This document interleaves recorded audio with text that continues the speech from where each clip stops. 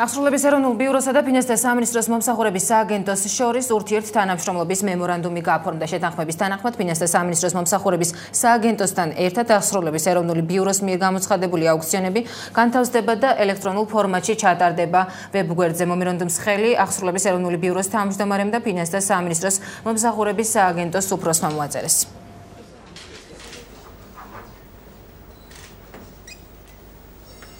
აუცილებლად ჩამოვხდელი აღარ ჩატარდება დღეიდან უკვე სააუქციონო დარბაზებში აუქციონები, არამედ აუქციონში მონაწილეობის მსურველს ეძრება საშუალება ნებისმიერი ადგილიდან, სახლიდან იქნება ეს თუ ოფისიდან, მიიღოს მონაწილეობა აუქციონში და მისთვის სასურველი იქნება შეეძინოს ძალიან მოკლე ვადებში კომფორტულ გარემოში. ეს ერთის მხრივ აბსოლუტურად ამცირებს თუ არა საერთოდ აღმოფრავს კორუფციულ რისკებს.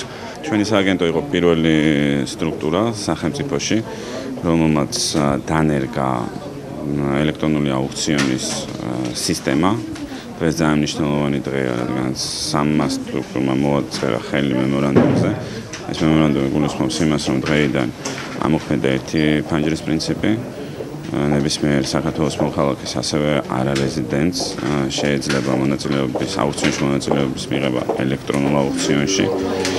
აა როგორც ჩვენი სააგენტოს მიერ გამოცხადებული, ასევე ახსნების ეროვნული ბიუროს მიერ გამოცხადებული და ასევე ეკონომიკური განვითარების სამინისტროს მიერ გამოცხადებულ აუქციონებში.